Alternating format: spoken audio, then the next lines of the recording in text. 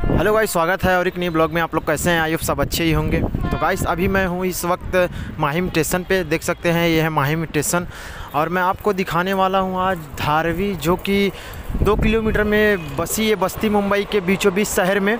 यहाँ पे कितने लोग कैसे रहते हैं? बहुत ही बुरी स्थिति में रहते हैं। यहाँ पे दो किलोमीटर में बस, बसी ये बस्ती लगभग 16 लाख या 17 लाख यहाँ पे लोग रहते हैं, देख सकते हैं पीछे का व्यू और बहुत ही कचरा पट्टी वाला ये एरिया है, और बहुत ही ज़्यादा यहाँ पे गंदगी रहती है। तो आज को मैं तो आज मैं आपको दिखाने वाला हूँ यहाँ का व्यू बहुत ही तादाद में लोग यहाँ पे रहते हैं, और इतना पतली पतली यहाँ की गलियाँ हैं कि यहाँ पे लोग, ये जो आपको सूरज दिख रहा है ना, अभी धूप है, लेकिन धारवी के गलियों में सूरज की किरणें नहीं जाती हैं। इतना अंधेरा रहता है मतलब पूरा अंधेरा अंधेरा दिखता है।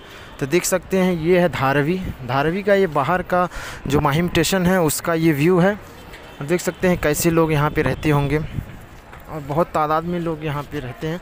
तो चल के आज हम आपको दिखाते हैं यहाँ का व्यू। बहुत ही लोग यहाँ पे रहते हैं। और ये धारवी जो स्टेशन से रोड जाता है, माहिम स्टेशन से, ये यहाँ का व्यू है। तो गाइस जैसा कि देख सकते हैं, धारवी की ये गलियाँ बहुत ही पतली गलियाँ हैं। देख सकते हैं यहाँ पे सूरज का किरण तो आपको देखने को मिलेगा ही नहीं। क्योंकि इतनी पतली पतली गली है यहाँ पे।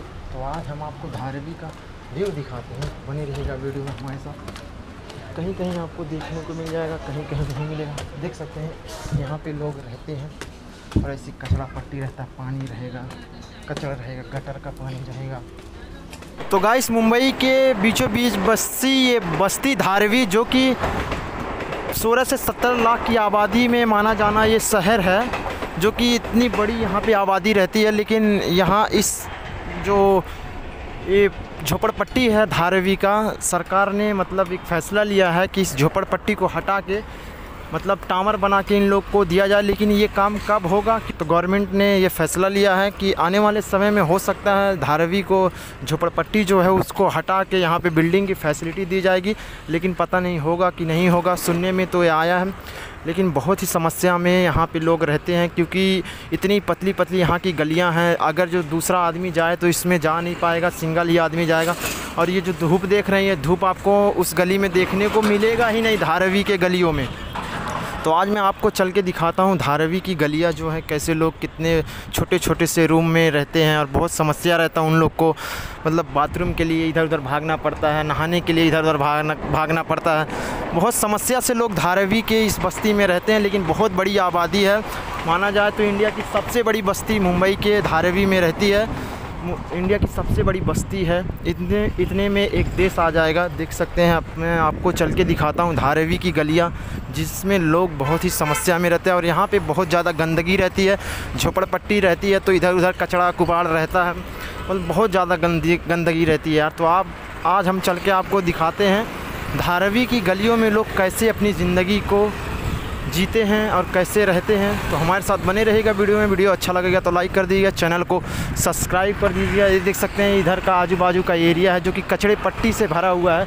कुछ कूड़ा, कबाड़ कचरा यही सब रहता है। तो आज हम आपको दिखाते हैं धारवी की जो गलियाँ हैं, कितनी पतली पतली हैं और लोग कितने समस्या से लोग रहते हैं। तो बने रहेगा वीडियो में, वीडियो अच्छा लगेगा तो लाइक कर दीजिए चैनल को सब्सक्राइब कर दीजिए। तो गाइस जैसा कि देख सकते हैं, हम आ गए हैं धारवी की गलियों में। आपको हम दिखाते हैं धारवी का व्यू और यहाँ पे देख सकते हैं, सूरज का जो रोशनी है हल्का हल्का आपको देखने को मिलेगा। और देख सकते हैं, ऐसे ही लोग धारवी में रहते हैं। सीढ़ी देख सकते हैं यहाँ का। रास्ते पे ही सीढ़ी लगी रहती है, क्योंकि जगह ही नहीं है तो सीढ़ी कहाँ से लगाएँगे? छोटा छोटा सा रूम रहते हैं, यहीं पर लोग रहते हैं। और देख सकते हैं, इसी गली में आपको मार्केट भी करने को मिल जाएगा, जो यहाँ के लोग रहते हैं, बाहर मार्केट करने नहीं जाते हैं। साग, सब्ज़ी, दाल, चावल, जो भी चाहिए, इनको इसी गली में मिल जाता है। ऐसा नहीं कि ये लोग यहाँ रहते हैं, फिर बाहर जाके मार्केट करते हैं, ऐसा नहीं है। यहीं पे इन लोग का मार्केट भी हो जाता है, इसी गली में। देख सकते हैं, इतनी पतली गली है, लेकिन इसमें मार्केट भी लगता है। और कचड़ा पट्टी तो रहता ही है धारवी, इसलिए फ़ेमस है धारवी। और यहाँ पे फॉरेनर्स भी आते हैं इस गली को देखने के लिए, इस जगह को देखने के लिए, धारवी को। इतनी फ़ेमस ये बस्ती है मुंबई की, और देख सकते हैं गलियों में अंधेरा रहता है। आपको कहीं कहीं ऐसा लगेगा कि दिन है ही नहीं, रात हो चुकी है, और कहीं कहीं लगेगा कि यार, दिन है। क्योंकि यहाँ पे थोड़ा बहुत कहीं कहीं से उजाला आ जाता है। अभी आपको सामने देख, दिखा रहा हूँ, आपको यहाँ पे लगेगा ही नहीं कि दिन है। ऐसा लगेगा आपको मैं रात का व्यू दिखा दिखा रहा हूँ, देख सकते हैं। यहाँ पे कितना अंधेरा है। बाकी आगे आपको और व्यू दिखाता हूँ। यहाँ देख सकते हैं कचड़ा पट्टी कितना रहता है। गटर बह रहा है वो गटर साफ़ कर रहा है। गंदगी तो बहुत रहती है। और आगे का व्यू देखिए, एकदम अंधेरा आपको दिखेगा। और सीढ़ी जो रहती है, इनका सीढ़ी रोड पे ही रहता है। एक तो पतला सा रोड रहता है, उसी में सीढ़ी भी रहता है। तो आगे आपको व्यू दिखाता हूँ, बने रहेगा वीडियो तो गाइस, मैंने आपको धारवी का व्यू दिखाया, देख सकते हैं धारवी में लोग कैसे रहते हैं। छोटी छोटी सी गलियाँ हैं पतली पतली सी, जिसमें सूर्य का भी रोशनी नहीं जाता होगा।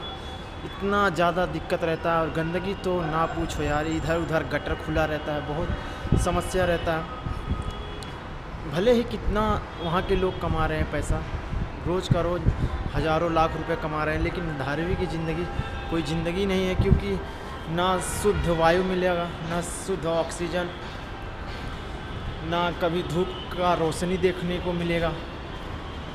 तो क्या ही ऐसी ज़िंदगी जीने का? मतलब छोटा छोटा सा कमरा रहता है। पाँच बाई पाँच का ही रहता होगा, बहुत छोटा कमरा रहता है। उसी में लोग अपनी जीवन को जीते हैं और बहुत ही समस्या का सामना करना पड़ता गंदगी तो इतना रहता है वहाँ पे धारवी में। कि पूछो ही मत, कहीं इधर गटर खुला रहेगा, कहीं उधर गटर खुला रहेगा। तो ये था धारवी।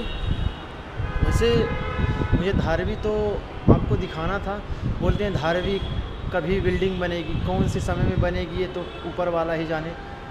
आज बनेगी कि दस साल बाद बनेगा कि बनेगा ही नहीं, कि ये एक अफवाह है कि धारवी को हटा के एक स्मार्ट सिटी बनाया जाएगा, टावर बनाया जाएगी मतलब यहाँ पे टावर बनाएँगे बिल्डिंग का, कि जो धारवी में फुट मतलब ये झोपड़पट्टी है, इसको हटा के बिल्डिंग बनाया जाएगा। ऊपर से देख सकते हैं, ये धारवी है, जो कि आपको दिख रहा होगा। नहीं दिख रहा होगा कैमरे में, क्योंकि इतना अच्छा दिखेगा नहीं। ये है धारवी, सामने का जो आपको दिखाया था धारवी।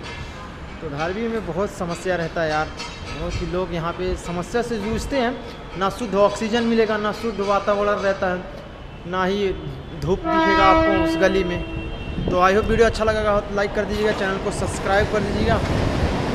और धारवी में मुझे तो कितना भी पैसा दे दे तो मैं नहीं रहूँगा। गाँव, यूपी, बिहार, झारखंड, जो गाँव के लोग हैं, धारवी की गलियों में तो नहीं रह सकते कमाने की नस्बत में आए, रूम लेकर रहे तो शायद रह सकते लेकिन किसी फैमिली को रहना हो धारवी में तो भाई नहीं रह पाएगा, क्योंकि ये घुटन सी होती है धारवी की गलियों में। ऑक्सीजन ही नहीं, सही मिलता है। बताओ, जो गली गली पास पास में है, वहाँ पे कैसे ऑक्सीजन अच्छा रहेगा? धारवी में बहुत सी समस्या रहता है लोगों को, लेकिन जो आ के रह रहे हैं, जिनको अच्छा लग रहा है धारवी में, उनका क्या ही बोल सकते हैं, उनको तो अच्छा ही लगेगा। सबको अपना घर प्यारा लगता है तो आयो वीडियो अच्छा लगा हो तो लाइक कर दीजिए, चैनल को सब्सक्राइब कर दीजिए। मिलते हैं फिर न्यू ब्लॉग में, तब तक के लिए बाय